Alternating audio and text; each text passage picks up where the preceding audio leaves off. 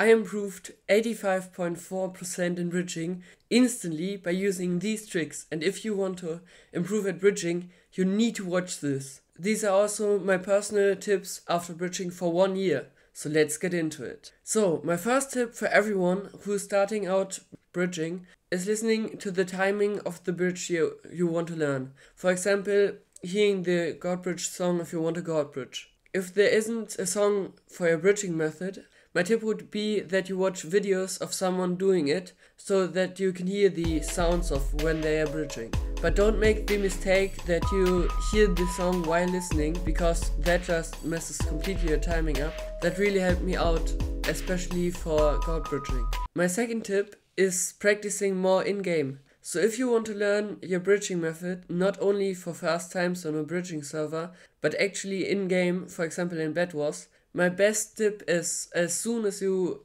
can kind of do it, like maybe 10 blocks or something, then you start practicing it in game. My third tip is one that I realized way too late. And it is that you should only bridge on one server. You can obviously go into other servers, but for me it was really difficult because I have pretty high ping. And if I go on a different server, the timing, for example, when I when I start running with Godbridge, it's really difficult because I would have to do a different timing. So every time I then wanted to Godbridge in in Hypixel game, it was much more difficult. Because Tip 4 is a small but neat tip, which was uh, disabling the block sounds.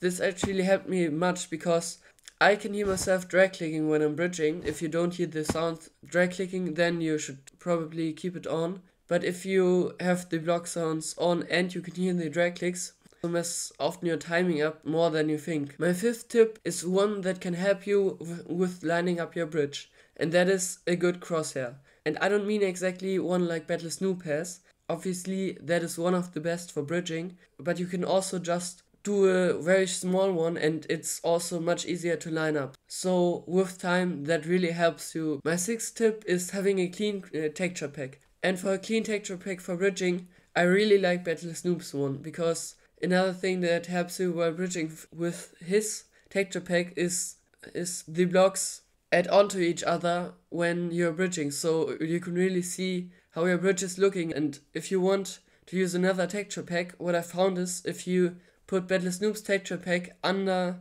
under your normal texture pack, then you have pretty much only the wool overlay, so that's really really nice to use. And at the end, I have a special tip for you how to always be able to drag click. Because for me at the beginning, I really wasn't sure how someone could always drag click, and even with tape, it wasn't always easy for me. So my tip is when you apply the normal amount of tape to your mouse, you additionally get a bit of more tape and then the sticky side over it so that if you longer not used it it rips off the dust and it also gets a bit stickier so then at the moment you can always drag click after sticking the additional tape onto it. So that were my best tips after bridging for one year. If you still struggle with the timing of Godbridge, you need to watch this video next because there you can hear my click sounds. Thanks for watching, hope to see you soon.